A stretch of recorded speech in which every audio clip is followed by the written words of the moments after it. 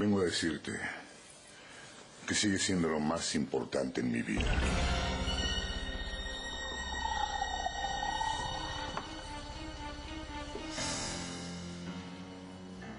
Perdón, no quise interrumpir, eh, solo quería decirte que todo va a salir bien y que deseo que te recuperes pronto, Lupita. Con permiso. Rafael. Entiendo. ¿Quién le dijo que me iban a operar? ¿A qué vino Rafael, mamá? ¿Quién le dijo? Rafael, Rafael, no te vayas. Pina, creo que estorbo aquí. Tu mamá está con tu papá como debe ser y yo solo soy un intruso. No, no, no. No digas eso, Rafael. Eres una persona que le ha dado mucho amor a mi madre. Eres muy importante para ella. No, no lo creo, Pina. Ese señor que estaba tomándole las manos es su esposo, es tu papá. Por favor, quédate. Yo sé que mi mamá te necesita, que para ella significa mucho que tú estés aquí. En cuanto entre mi mamá al quirófano, nos podemos tomar un café aquí en el hospital. Por favor.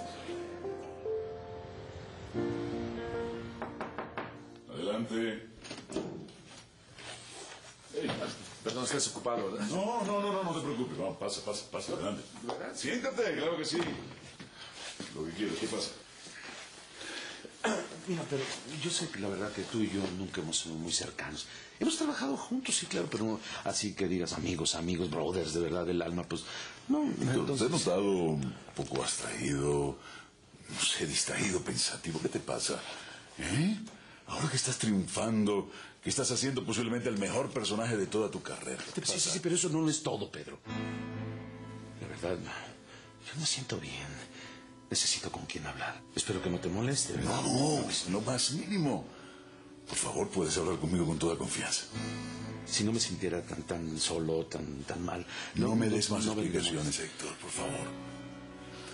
Yo creo que que si no hemos entablado antes una amistad, podemos empezar ahora, ¿no es así? Tienes en mí un amigo.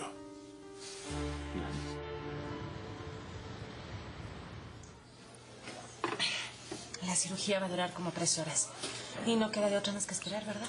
Ay, Pina, quizá no sea el momento de preguntarte esto, pero necesito saberlo.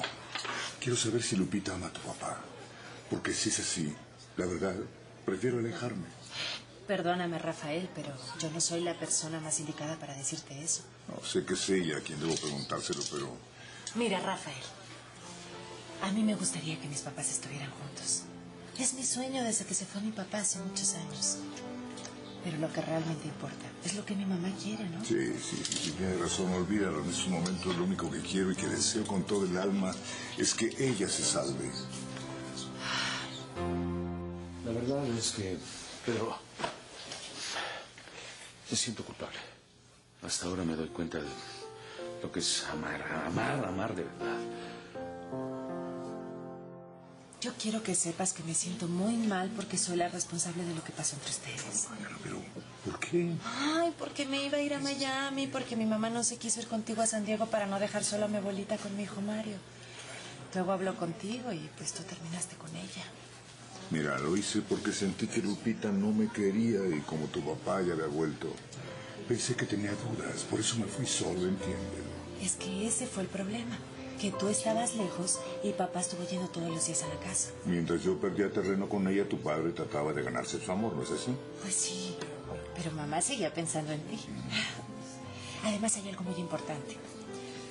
Sé que mi mamá pues no ha perdonado a mi papá. Entonces, ¿por qué acepta estar con él? Pues creo que es el anhelo de recuperar a la familia que perdió hace 20 años. Pero una cosa es la ilusión y otra el amor verdadero. Pina. ¡Ay, Valentín! Valentín.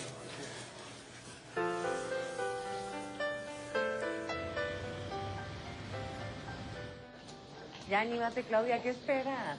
Yo estoy muy contenta de haber tramitado mi tarjeta de crédito Mujer Banorte. Como te había dicho, aparte de tener club de descuentos, tarjetas adicionales, transferencia de saldos, cuento con un seguro de desempleo. Porque uno nunca sabe cuándo se pueda quedar sin trabajo. Por seguridad deberías de adquirirla. Ay, Adriana, pero si tú sabes que no gano tanto. Bueno, no te preocupes. Comprobando solo seis mil pesos de ingreso, tú puedes tramitar tu tarjeta de crédito Mujer Banorte con todos los beneficios que ya te conté. Tienes razón, ya me convenciste. La voy a tramitar. Perfecto. Bueno, pero vamos a trabajar, ¿no? Ya estuvo bueno de tanto chisme. Pedro, pero te voy a confesar algo. Tengo que hacerlo porque siento que desde hace un año algo me quema aquí por dentro, pero... Ah. Es un error, perdóname. No, no, no tengo derecho a perder el tiempo con mis problemas. Perdóname. Oye, ya te lo dije, podemos ser amigos, ¿ok? Vamos a hablar con calma. Saca todo lo que tienes dentro, hombre. Vamos, te escucho. Lo que pasa es que es tan difícil decírselo a alguien. ¿De qué se trata? Puedo confiar en ti, ¿verdad? Absolutamente, Héctor. ¿Te acuerdas una vez que llegaste a mi camerino y tenía escondida a una mujer en el closet? ¿Era una mujer? Sí, me acuerdo, sí. ¿Qué pasó? Eh, Sí. Sí, sí, fui de la misma mujer que la hablamos ese día que desayunamos. Esa es la que tenía un hijo que te estorbaba. No, no, no, no, no, eso pensé en ese momento, pero fue un error, fue un error. Pero, pero, ¿qué hay con esa mujer?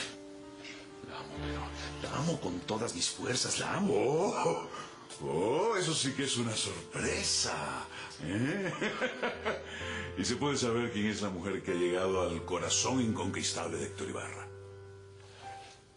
Esa mujer es Espina. Pina. La maquillista. Sí, sí, sí, Pina.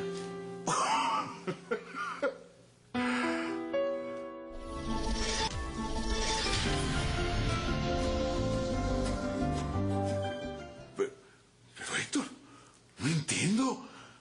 Pina es una mujer muy hermosa como para esconderla en un closet. Es la maquillista, Pedro.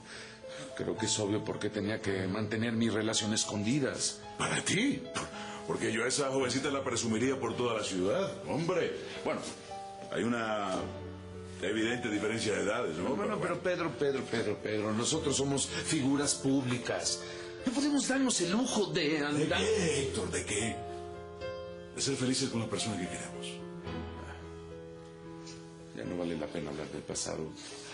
Pina y yo nos íbamos a ir a Miami, pero ella se arrepintió precisamente por su hijo. Y en ese momento, pues yo no la entendí. Fui muy egoísta. Lo, está bien, está bien, lo confieso. Fui egoísta con ella. Me enojé con ella. Y curaste el enojo en los brazos de la venezolana. No, no, no, no, no fue así. Pina me dijo que ella ya no quería hablar conmigo. Y- Perdóname, pero tu romance con Marina salió en todos los periódicos, en todas las revistas. Por favor, seguramente vio tus fotos besándote con Marina. Porque las vio todo México, ¿eh? Lo que pasa es que eso pasó después de que ella me mandara al demonio, Pedro. Pero mira, lo que me extrañó fue algo que Pina me dijo ayer. ¿Qué te dijo? Me dio a entender que estaba presente cuando yo besaba a Marina, porque me dijo, yo lo vi con mis propios ojos.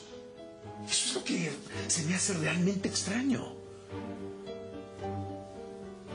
Y cuando terminé la presentación de la edición sobre los primeros 20 años de la telenovela, me mandaron llamar.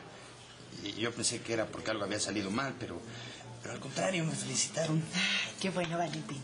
Aunque no me extraña, yo sabía que te iba a ir muy bien. Ay, me hubiera gustado acompañarte.